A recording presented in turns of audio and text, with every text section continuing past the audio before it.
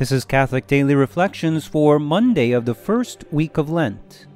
Today's reflection is entitled Serving Christ in Others.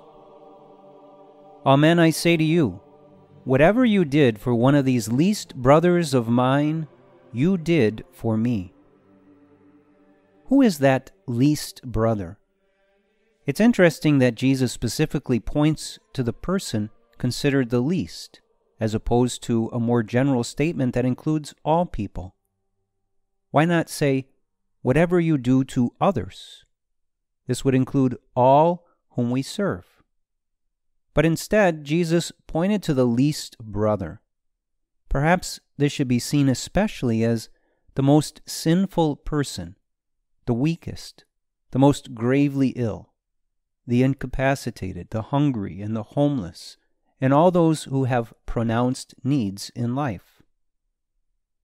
The most beautiful and touching part about this statement is that Jesus identifies himself with the person in need, the least of all. By serving those in special need, we are serving Jesus. But for him to be able to say that, he has to be intimately united with these people. And by showing such an intimate connection to them, Jesus reveals their infinite dignity as persons. This is such an important point to grasp. In fact, this has been a central theme in the constant teachings of St. John Paul II, Pope Benedict XVI, and especially Pope Francis.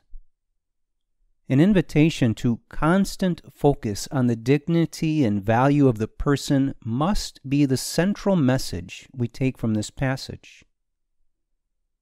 Reflect today upon the dignity of each and every person. Try to call to mind anyone you may fail to look at with perfect respect. Who is it you look down upon and roll your eyes at?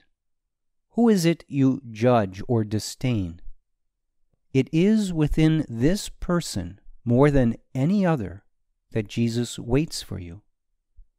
He waits to meet you and to have you love him in the weak and the sinner. Reflect upon their dignity. Identify the person who fits this description the most in your life and commit yourself to love and serve them.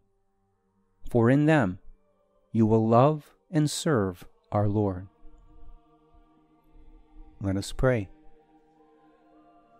Dear Lord, I do understand and believe that you are present in hidden form, in the weakest of the weak, the poorest of the poor, and in the sinner in our midst. Help me to diligently seek you out in each and every person I encounter especially those in most need. As I find you, may I love you and serve you with my whole heart. Jesus, I trust in you.